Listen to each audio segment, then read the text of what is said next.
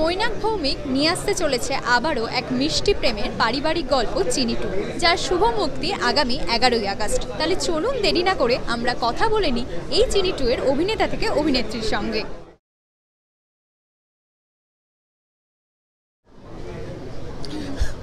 Master মশাই অথচ প্রেমিক। আর ছাত্ররা যাতে দেখে না ফেলে, সেসব নানা টেনশন আছে আর কি। আর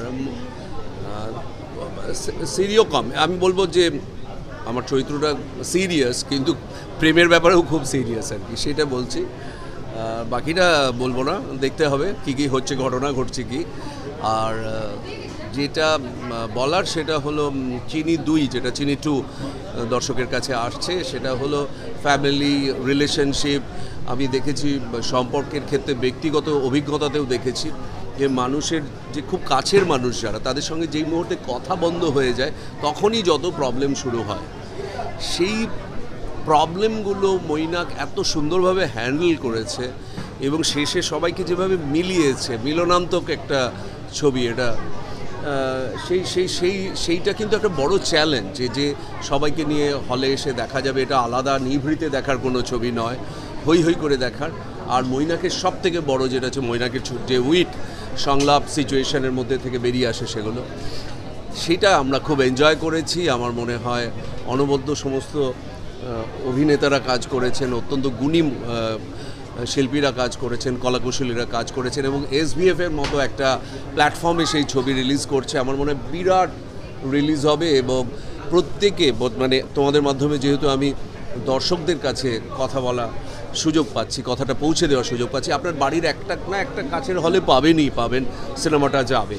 তো আপনাদের সবাইকে বলব যারা প্রেম করতে ভালোবাসেন যারা সম্পর্কেও ভেঙে গেছে জুড়তে চান যারা সম্পর্কের ব্যাপারে যত্নশীল কেয়ারলেস নন তারা সবাই যদি হলে আসেন সবাই ছবিটা তো এনজয় করবেন একগাল হাসি নিয়ে বাড়ি ফিরবেন। অবশ্যই।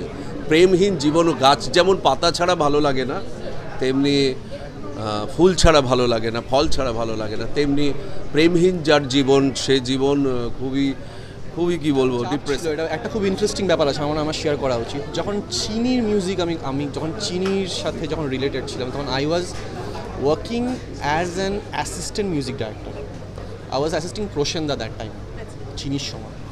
নাও চিনি টুতে যখন আমায় মিউজিক ডিরেক্টর হিসেবে অ্যাপয়েন্ট করা হলো দ্যাট ওয়াজ হিউজ প্রেশার কারণ আমরা অলরেডি জানি চিনি ভীষণ পপুলার হয়েছিল চিনির গানগুলোও ভীষণ পপুলার ছিল তার একটা প্রেশার ছিল প্লাস মৈনাক ভৌমিকের সিনেমা এটাও একটা প্রেশার ছিল বাট তো মজার জিনিস হচ্ছে যে মৈনাক ভৌমিক মানুষটাই একটা এরকম মানুষ ভীষণ ফ্লেক্সিবল ও যে সিচুয়েশনটা দিয়ে বলে দেয় যে এইটা সিচুয়েশন একটা গান বানিয়ে দেয় সেটা আমরা করি অ্যান্ড ওয়ার্ক করে অ্যান্ড হোপফুলি ফার্স্ট গানটা যেটা মাহাতিন গেয়েছে তুমি জানতেই আহ, ভীষণ ভালোবাসা পাচ্ছে সবার থেকে, প্রচুর পাচ্ছি টেক্সট ইউটিউবে কমেন্টস দেখতে পাচ্ছি অলরেডি গানটা ট্রেন্ডিংয়ে চলছে।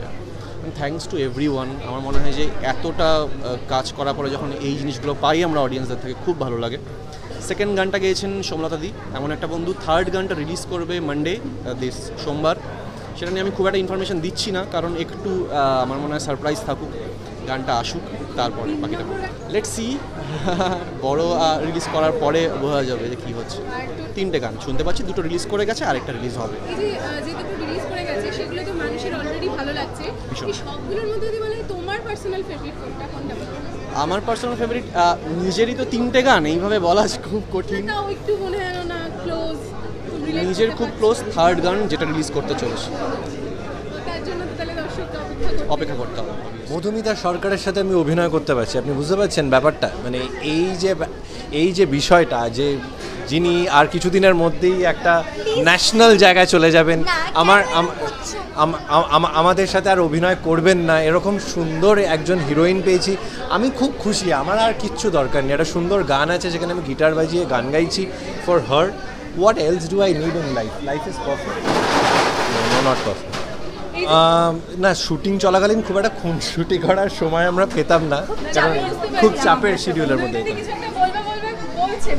হ্যাঁ হ্যাঁ খুব চাপের মধ্যে ছিলাম আমরা সবাই। প্রথম কথা আমার চাপ ছিল যে কি চিনির থেকে চিনিটুকে কী করে আলাদা করব আর ওর একটা চাপ ছিল যে কি ও পাগলামিটা কী করে করবে আর আমার চাপ ছিল যে কি আমি ওকে সামলাবোটা কী করে যে নিজেই একটা পাগল এই যে যে যে এই ব্যাপারটা হ্যাঁ।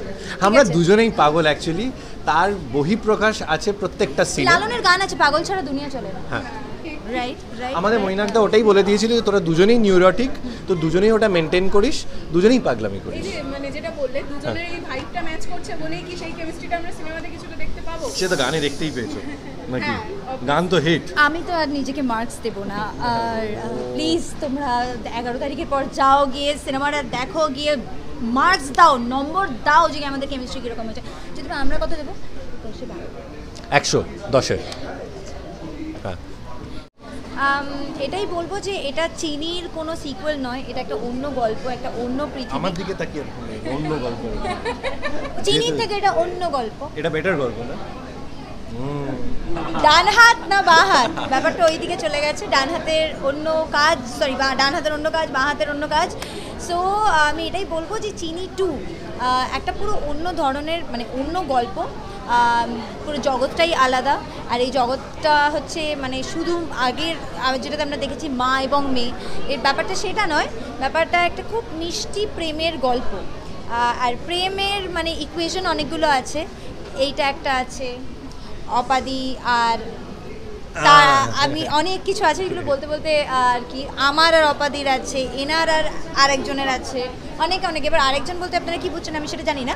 বাট এই গল্পে আমরা হয় না যে সিনেমা মানে কিছু একটা কমপ্লিকেটেড কিছু একটা বলতে হবে বা একটা খুব, কোনো একটা বক্তব্য রাখতেই হবে। সেরকম সিনেমাও যখন যেমন দরকার, তেমন এই আন্ডারস্ট্যান্ডিংটারও খুব প্রয়োজন আছে যে সিম্পলিসিটির মধ্যেও অনেক কমপ্লিকেশনস আছে যেগুলো আমরা মিস করে যাই।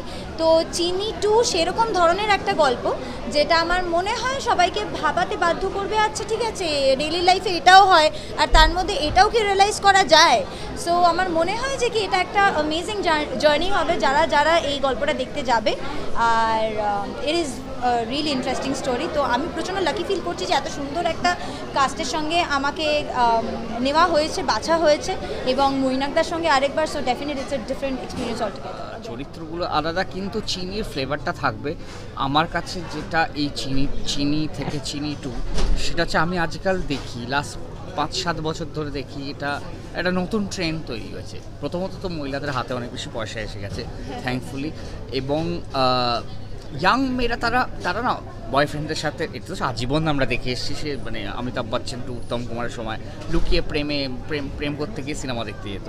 লাস্ট সাত, আট বছর আমি যিনি একটা জিনিস নোটিস করছি, অনেক ইয়াং মেয়েরা তাদের মাদের সাথে ছবি দেখতে যায়। সো ওদের মধ্যে তো ওই বন্ধুত্বটা চলে এসে সেটা আমি স্পেশালি এটা চিনি করবার সময় ওই কোভিডের মধ্যে অত কিছুর মধ্যে দেখতাম টুকটুক করে মা মেয়েরা বন্ধুদের মতো পপকর্ন কিনতে কিনতে সিনেমা দেখতে যায়।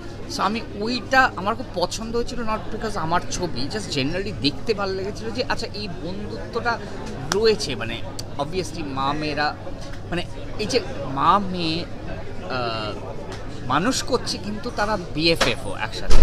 সো সেইটাকে আরও ধরে এই ছবিটা বানানো যে মা হতে হবে না, মা সুলভ হলেও হবে এবং তার সাথে সে মানুষটার সাথে ঝগড়াও করা যায়। মানে সে তোমার মায়ের বয়সী হলে তুমি ঝগড়াও করতে পারবে, জ্ঞানও দিতে পারবে, জ্ঞান শুনতেও পারবে এবং এরকম দুজন মানুষ আবার সিনেমা হলে চলে যেতে পারে, আবার একসাথে বাড়িতে বসে পপকর্ন খেতে খেতে সিনেমাটা দেখতে পারে।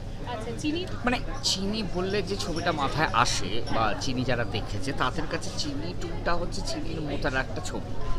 যে ছবি, যে যে ফিলিংটা দেয় চিনি দেখলে যে একটা মিষ্টি ছবি একটা পারিবারিক ছবি অ্যাট দ্য সেম টাইম একটা বদ দুষ্টু ছবি মানে দুষ্টুমি আছে, কেওড়ামি রয়েছে, মজা রয়েছে, ঝগড়া রয়েছে, কিন্তু সবটা মিশে একটা ফাইনালি একটা একটা তিক্ততা কখনো থাকবে না। একটা একটা একটা মিষ্টি ফ্লেভার থেকে যায় ছবিটার মধ্যে। সো চিনিটিও তাই।